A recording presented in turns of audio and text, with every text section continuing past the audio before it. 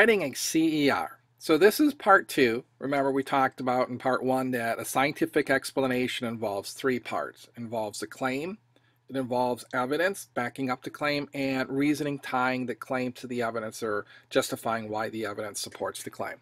And so this is part two where we're going to focus on evidence. Now, evidence. The evidence is all of the scientific data that supports your claim. Your evidence must be related to your claim. Not all data is considered evidence. And evidence can be specific data from the lab. This can come from your own group, or sometimes you know, we'll share data in class, so it could come from other groups as well.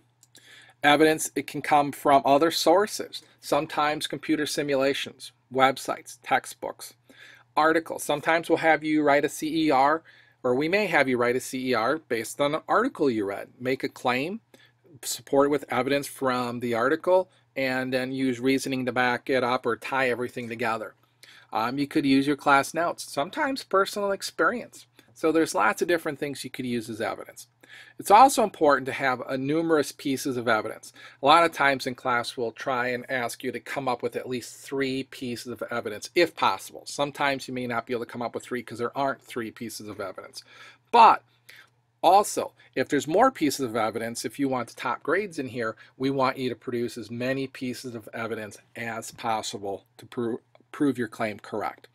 So when we go back, we're going to use the same example we used in part one, where this graph represents the relationship between the amount of spring rainfall recorded at a pond and the number of frogs in that pond. The data was collected over five spring seasons.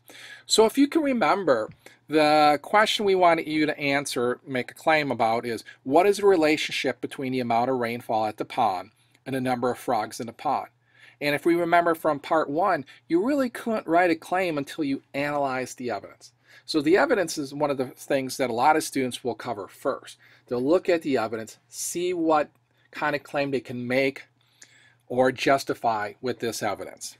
So the relationship between the amount of rainfall at the pond and the number of frogs in the pond is that when there is more rainfall, there will be more frogs. So that's the claim we came up with. So now we have to look at the evidence that backs it up.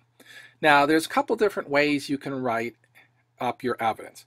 One of the ways that I use, and I'm going to use in this example, is I did it in paragraph form. I wrote it all out. One of the things you could also do is you could put this in bullet form, where you could have a bullet and then you have all of your facts. Now, the one thing I will caution you, if you have a bullet and you have your facts, you have to make sure all your facts are there. So first of all, let me read what I have here.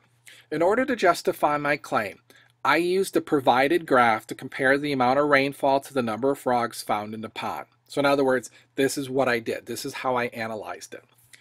When there was 5 centimeters of rain in the pond, there were 20 frogs found in the pond. So if you look at the graph, yeah, when there was 5 centimeters of rain, we found 20 frogs.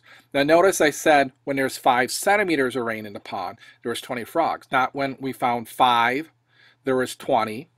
I made sure I talked about 5 centimeters of rain, 20 frogs. Now, the one thing you'd have to caution yourself, if you want to put this in bullet form, you could have put a, a bullet and said, okay, when we found five centimeters of rain, there was 20 frogs found in the pond. Be careful not to just put five centimeters equals 20 frogs because that's not fully explaining your evidence. When there was approximately 8 centimeters of rain in the pond, so notice it's not exactly on any line, so I approximated 8 centimeters of rain in a pond, there was approximately 33 frogs.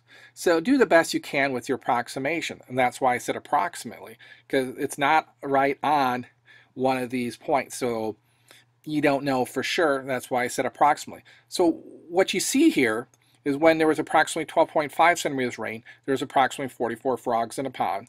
When there's 20 centimeters of rain, in the pond, there was approximately 60 frogs found in the pond, and 20, 23 centimeters of rain in the pond, there was approximately 62 frogs in the pond. Basically, what I did was I interpret this graph and I wrote out what I saw. So again, you can put this in bullet form, but it's going to be about the same length because you have to say when there was approximately 8 centimeters of rain in the pond, there was approximately 33 frogs found in the pond. You can't just have 8 equals 33, 12.5 equals 44, 20 equals 60. You have to explain what the evidence is fully. So make sure you do that. Now, when we look at the evidence, you don't see it in here, but you might find some examples this year where when we talked about evidence, it says it can also come from other sources, and that's true. It's important to have numerous pieces, that's true. But let's look specifically at this one. Not all data is considered evidence.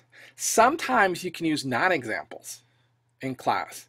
For example, you might be able to say, well, if you look at these numbers, because they don't match up, this proves that it's not a choice. So sometimes in class, you're going to be able to use non-examples or data that doesn't support yours actually to support it, to justify why, um, say, two, two minerals are the same, or two rocks are the same, or two unknown liquids are the same. So keep that in mind this year.